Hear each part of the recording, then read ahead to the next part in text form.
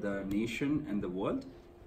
So before I begin, I just want to kind of gauge uh, your interest and your domain because this presentation is not me talking all the great things what we do. Is mainly to understand and work collectively to define what tech. And is this better? That side? Yes. okay cool by the way that's jing she is uh, my team member and she does all of our social media marketing and so all she does is make me look good so that's why she's here and yeah, so as I was saying, it's more about understanding what you guys need and what are the challenges you have in your organization or in your group. So maybe by raise of hands, can you tell me who is in healthcare? So three, um, finance? No. Okay, so what are the other industries which are being represented here? Kind of Marketing tech. marketing and tech. Okay, that's cool. So that gives like healthcare, marketing, and tech. So that's awesome because the entire presentation is aligned to uh, focus on all the three uh, needs. So a little bit about me. I'm a uh, I'm Neel, and I own a company called EpiFinder here in Scottsdale, Arizona. We started three years ago with a simple objective to really define how the healthcare is uh, being done and performed on the patient. And by our exhaustive search and understanding, we found out that there is a complex need when it comes to epilepsy. 40% of the patient goes undiagnosed or misdiagnosed because there are 62 different types. And so more often than not, uh, the, the patient just stays in the healthcare ecosystem for 12 to 18 years, and that costs the US healthcare system $36.8 billion each year. There are 65 million people worldwide, and 1 in 26 will have epilepsy. So that means we, have, we are about 26 people. So one of us will have epilepsy at any point in our lifetime. So it's a massive, massive problem. It's not talked about, just like cancer or diabetes or cardiology just because there is a lot of stigma associated with it. That being said, we'll just jump right into it. We all live, eat, and breathe technology, and we all crave for something which is cool and sexy all day, every day, be it an app on our phone or be it a digital product for us to use and play with, all the way from Amazon Echo uh, to an app on your phone. We are always like embedded into the ecosystem. And now, just with our last year report in 2018, more time was spent on our digital screen compared to face-to-face interaction. So 2018 was the year where our entire human-to-human communication shifted from in-person communication or at cham chambers meeting like this to actually communicating through our digital devices. So guess what? If you really want to be on the cutting edge, if you, if you are providing a solution or if you are providing a service or if you have a product, you have to, you know, welcome tech even if you like it or not. And so what happens is that there is all the advances in different fields, all the way from Uber, Lyft, uh, healthcare, even in marketing, more tech is being used, right? Uh, days are gone where you market to like audiences like this. Now you're thinking about digital marketing you're thinking about social media, you're thinking about influencers. The days of like billboard advertising is almost gone unless you have a billion dollar budget and you can still keep doing it and waste money. So that leads to something what we call adoption. So you know the Gen Zs and millennials are pretty good at adopting tech compared to, pardon me here, but that's the fact, uh, compared to baby boomers and elder millennials. So if I'm working on a marketing agency or a social media company, and if I'm, I'm targeting someone who is in their 60s or 70s to adopt and use my product, what's the best way to go about it? So commonly we think about, okay, let's build an app or let's just push it out on all of our platforms and hopefully it will click. And and spraying and praying approach is gone. Uh, no, no longer, no one wants to hear from you if uh, you are not providing what's in it for them compared to what you want to serve or what you want to get paid for. So the challenge, what happens is, let's say you build a great product and you you walk into an organization who would need it, But what happens? They said, we are bombarded with different solutions. We don't want your solution unless it's significantly different. So there it comes the adoption, you know, how you can overcome the adoption in this institutional age. And that leads to what we call institutional and inertia. That means organizations don't want to change or move unless there is, um, you know, a carrot. That means there is financial incentive. Uh, stick. That means there is a penalty. And that is a that is dominant in healthcare. When you talk about healthcare, doctors will not change how they communicate and how they see patients unless there's a new policy. But again, it aligns with what the policies and advocacy is what we talk about here, is that if there is not a significant policy in place, the doctors will keep seeing the patient the way it is. The patient will keep doing what they are supposed to do or what they are doing it, unless you have a penalty or you have an incentive to do it.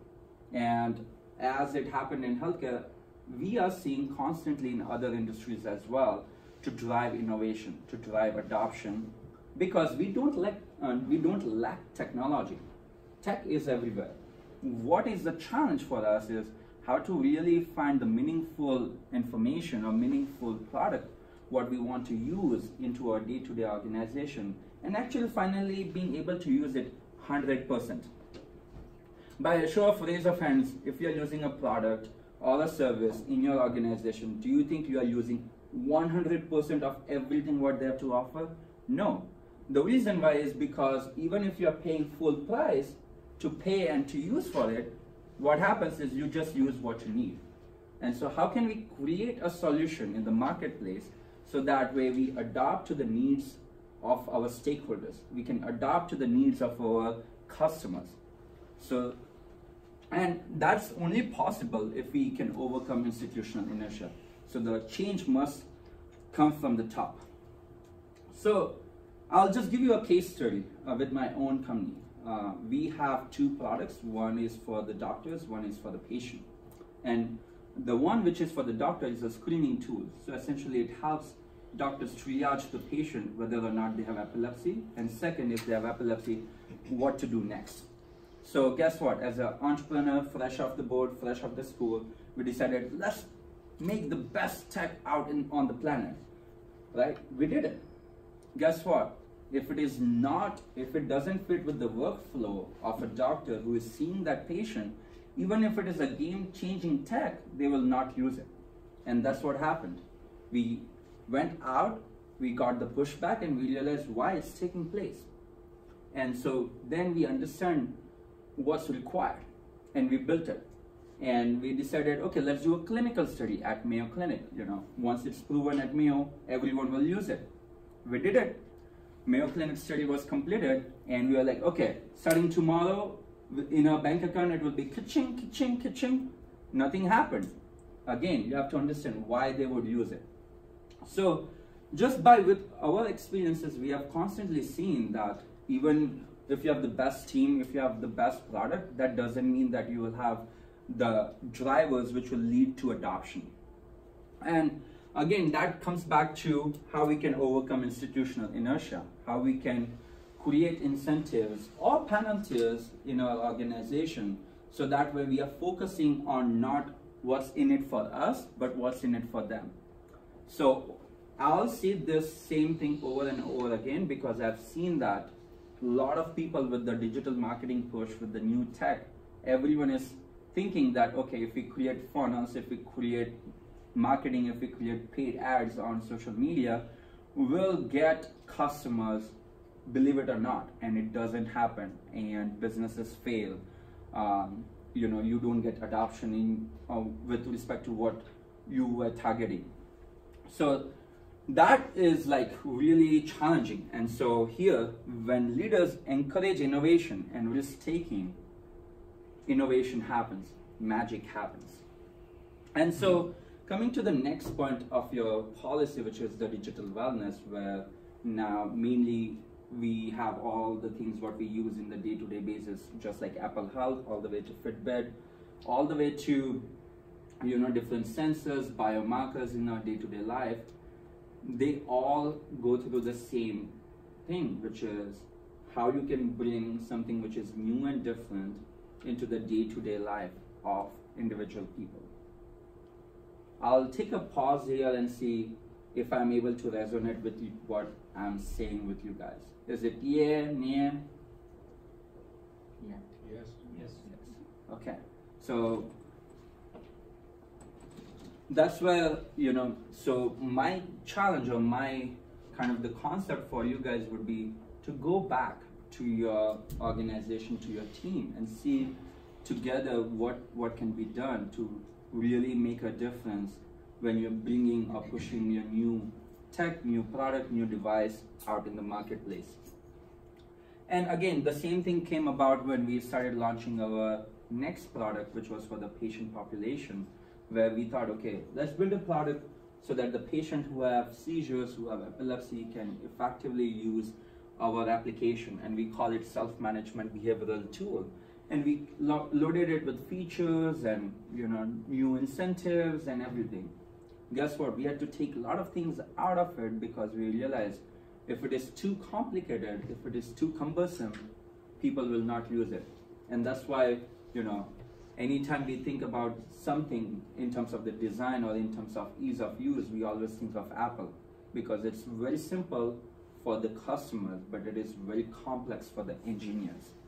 And that's the same thing which we have to replicate when, you know, whatever we are doing into our day-to-day -day objectives. The next thing is talking about government's role and policy.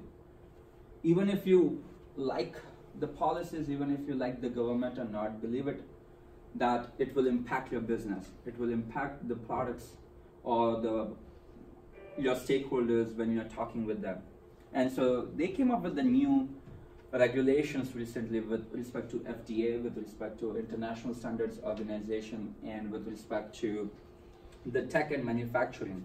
And FDA is one of the stringent law which is out there for medtech companies like ours, for healthcare, uh, whoever is in healthcare over here to really keep an eye out because they are changing the laws and regulations quickly, pretty quickly.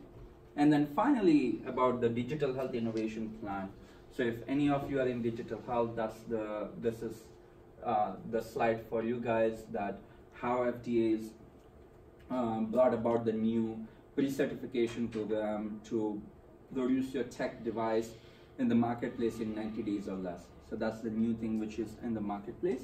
And then all of this wouldn't be possible without the community support. So this is all of our partners, our clients, recognitions, and that's pretty much about it. I'll open it for Q&A. Questions? What role does HIPAA play in in that, or is that just a completely di different and separate regulatory uh, agency? So that's a good question. HIPAA plays a big role in terms of whenever you're touching a patient or collecting the patient information. And so, uh, for example, at EpiFinder, we use HIPAA compliant cloud server, 256-bit encryption. We have a chief compliance officer on our team to make sure that all the data uh, is in alignment and we are using the data to provide effective outcomes for the patient the data is not misused for anything else. You know, we have the privacy policy, uh, TNCs, things like that. Um, and then, of course, the moment your company uh, keeps growing, uh, guess what? Who will start no knocking your doors? The policy agents, uh, the compliance officer, and say, hey, you know, you have like 20 hospitals. What are you doing? Let, let us see your data flow, the information flow, where are you uh, keeping your medical records if it is physical, right? Um, everything for us is digital and uh, we work at an office where we have to make sure everything is secured, lock and key model. So uh, documentation, so we have a internal team member who his entire focus is to write policies, to write protocols and to write um, processes. So anytime we have a new update in, in with respect to our app, so we have to, let's say if we go from version 3.1.1 to version 3.1.2, we have to document everything what we did and why we did. So it, cannot be just like, oh, I'm a founder of a company, I wanted to add this new feature, it, it looks cool. No, it doesn't work that way. It has to be the feedback from the doctors, it has to be a feedback from hospital executives, for us to take it, translate it, and put it into the our application version. Yes. Daniel, um, so a little bit about competition and moving into a space where there might be some existing incumbents. Can you talk a little about your perspective on the process of educating the customer on the ROI of switching? I don't know if there was a lot of competition in the space that addressed the same solution that you're solving, but usually there's other things that do it probably not as well. So educating the customer on the fact that the switch is going to be worth it, the switching costs. Yeah, that's a great question. And you know, for us, the incumbent is not the another competitor's product because what we are doing is uh, very different and innovative. But every doctor is so used to using the same methods or the same uh, processes which we have. And it's been the same system for the last 27 years. There was not significant innovation. So the first thing, the way we can convince or you guys can convince is to create a case study that why your product is different than your um, other uh, products in the marketplace. So for us, it's the very old kind of big, heavy, bulky EEGs which are being put on the patients. And it costs the hospital system over $10,000 to have one EEG in a room. It costs them the space of the hospital system also. So what we did is we calculated all the costs they are incurring and the efficacy of that EEG is 60%. So for 60% of the patient population, it will predict correct uh, seizure or epilepsy. And so when we did with EpiFinder product, it's a digital product, so we don't need space. So that's number one benefit to, to your customer. Number two, we are at 87% accuracy. That means we improve the accuracy for patient screening by 27% than the current standards, the current methods. So that's clinical efficiency. And then the third thing is financial efficiency. That means the EEG and everything costs them over 10K plus, whereas this is a product which is less than $100 per patient per use. So now you can see how dynamic of a difference there is. And then getting customer testimonials. So we have testimonials from the chief of epilepsy from Mayo Clinic right on our front page of our website. So that way anyone who asks, hey, you know, why I should use you or why we should, you know, change and switch and go through all this crazy process of training, educating, overcoming skepticism for our employees, well, I just say go to my website and see what this doctor is saying. Yes? I work at Park University and in higher ed, a lot of times we find that when we want to implement new technology with our faculty, it's usually the students that help drive that. And in talking to some people, they in conversation about healthcare, sometimes people are on the web and they find something, they go to their doctor, and that drives innovation. So do you find that true here? Is that are the patients helping drive it, or do you think it has to be driven from the from the um, top down? So that's a great question. And uh, at first, we thought about when we were building the patient tool, and the reason why we started making the patient tool apart from a doctor tool is because all the patients uh, started knocking the doors and saying, "What's in it for us?" Again, the same question what I mentioned is that, and we decided we don't want to venture into the patient space because there's already other free apps which are out there. Or our focus is the diagnostic engine, and we want to expand to from epilepsy to other conditions. So what we realize is that you can directly go to your consumers. That means a lot of ed tech companies which are here in the valley. I'm connected with a lot of founders as well. They approach students and the student, students will tell the faculty. In healthcare case, that's not actually true because doctors are responsible of doing no harm. They take the Hippocratic oath. So even if the patient says like five times to them that, hey, I found out about this or I did this, can you look into it? Guess what? Doctors have to see like 20 patients a day. All they're focused on is clicking, documenting, signing off the notes, and going home to spend time with the kids. So they're, unless they are the chief innovation officer at a hospital system, they are incentivized based on the new adoption of technology, not by how many patients they are seeing. So you have to talk to the right person who has the authority to make change. So in healthcare, the way we have, I mean, I learned this over the last 12 months is there are three different targets from the from me selling to them. One is the decision maker, second one is influencer, and the third one is recommender. So recommender can be the patient who are recommending doctor, hey, you know, look into that. Influencer is someone who will influence the decision making process of the person who has the final authority to say yes or no. So the influencers in the healthcare industry is mainly chief medical officer, chief informatics officer, chief finance officer, because they are the people who are kind of looking into what's next. And then finally, the CEO of a hospital is okay. He signs the a document and say, okay, we have a contract with EpiFinder. So not we have to target all three of them, and sometimes the recommenders are also the physicians.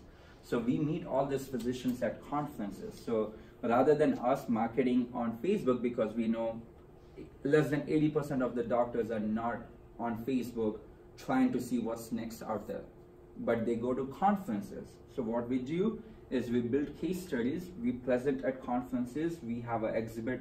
On the exhibit floor, we have a booth, and then we bring doctors at our booth and say, okay, this is what we are doing, this is game changing, this is innovative. Would you like to try it for 30 days for free? And then they say, okay, sounds good. And then what we do is just like any other apps, we start for free, and then once we are so hooked into it, we become the monthly paying customer, and that's what we are doing. So do you, do you have uh, early detection or is it something, you know, once some, some incident happened? Right now, it's uh, one once an incident happens, it's more reactive uh, because once you start collecting the reactive data, you can move towards predictive. Because in healthcare, the moment you give a false positive, and if it happens more than 10% of the time, they kick your tech or the product out of the healthcare system because they don't have time to waste. So we wanted to be very rational and logical on how we approach in the marketplace. But soon uh, we are uh, we just partnered with a local another EEG company who has a portable headsets, and then they have the ability to predict. So what we are doing is we have a, um, a robust algorithm and a diagnostic platform, and we are integrating with the data sensors to bring that to more um, predictive and at-home care. So uh, what, what made you cho choose this uh, segment? Did you, did you have personal experiences? And That's a great question. So my uh, co-founder and business partner, he went to medical school, got sick in Rush, uh, Chicago, was bedridden for two years. All doctors prescribed him were steroids, and that was not he, what he wanted to take. So he he figured out his own way, and at that time, what he started doing is started putting all the clinical symptoms like with him being the patient zero put together. And then the framework when it was built and designed is applicable to over 287 conditions as of now. And then when we presented this as a case study at arizona state university because he, he was pursuing phd and i was pursuing my master's and that's how we got connected uh, we presented to a group like just like you folks uh, with doctors from across the valley with different hospitals with different specialties. And everyone said you have to focus on epilepsy because that's where the need is the greatest. And that's where you can really identify from 62 different types of epilepsies to the top three most likely for that particular patient. And so we saw okay that's the need uh, and again it's not what we want to build it's what the community has the most need and then they will pay for it so that's how we launch into epilepsy but now we are so connected with the epilepsy patient groups epilepsy foundations that we have a patient advisory board where, where there are seven patients from different states which meets once a month to really see okay what next we have to do for the EpiFinder product to drive and to get adoption in the community. Yes. Uh, for the, um, you mentioned the patient tool that in the beginning was very complex and you guys had to simplify. In what ways did you simplify and, and kind of how did you decide what you were going to simplify to? Yes. So again, it, it boils down to, you know, everyone has like a lot of ideas every day. And with, with, with the patient tool, we realize, okay, that there are over 18 different things which would like to have on our app. And then so we started with 10 of those things. And again, the patient advisory board, uh, as uh, which I mentioned just briefly, uh, we, we took it to them. Uh, we invited patients for like customer focused interviews at our office and we also did some remote interviews for the patient who are out of state And then we asked them, okay, if you have to choose between this, what are the three things or what are the four things which you will choose? And then based on the consistent theme of what they would like to have or what they think, okay, this is most needed, we started with this. So uh, the three things which we are focused on right now is seizure management, uh, the treatment management, and then the lifestyle management. Really cool, really innovative, and I really appreciate the question you asked about how you got here from your other founder. Um, really interesting.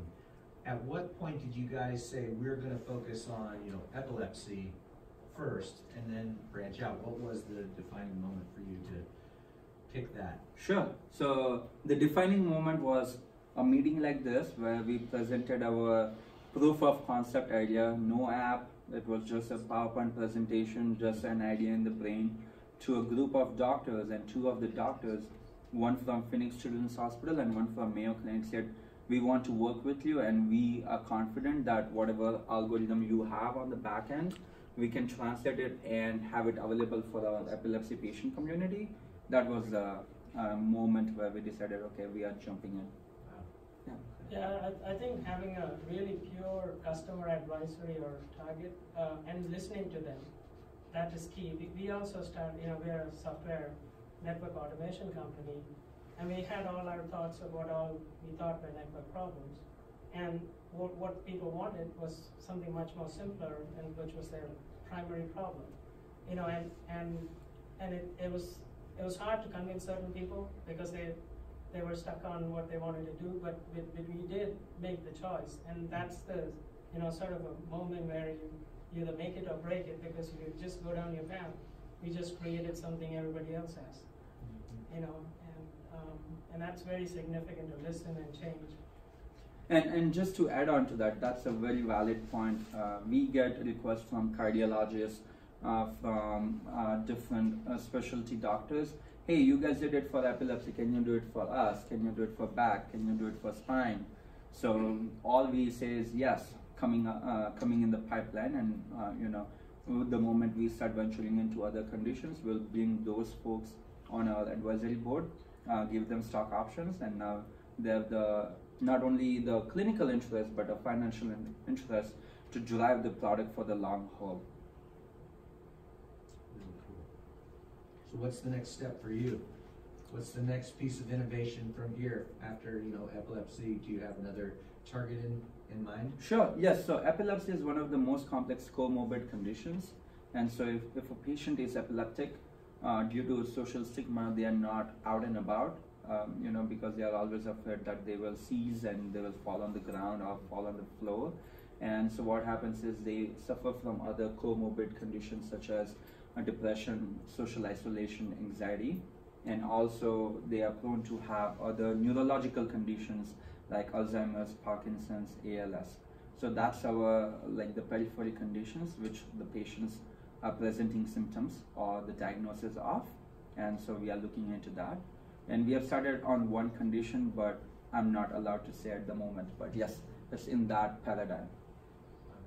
Yeah, it's super smart to evolve to things that are directly connected to what the solution you provide, Yes. instead of pivoting to something completely different. Yeah, because if we uh, move to completely different and build something, and if it fails, uh, in healthcare you only get one shot out of the door. If you do it well, uh, everyone loves you. If you do it bad, uh, you have to close your shop. So, uh, it, unlike gaming, where uh, I always bring gaming, and I know a lot of gamers hate me because I always bring that uh, in my talk. Is uh, when you when you design a game, you can always launch it with version 0.1 uh, to 100 customers, and then you can come to version 1.0 and add more features to the game and everything. And it's okay, you know. We see the updates on Facebook, Instagram. It's always changing, and it's fine. But in healthcare, if the if your tool or the tech doesn't work, or if it takes the patient from this to this way, if doctor makes a mistake, it's okay. But if a product makes a mistake, it's done.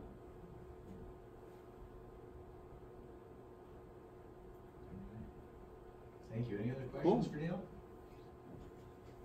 Thank you so much. Sure.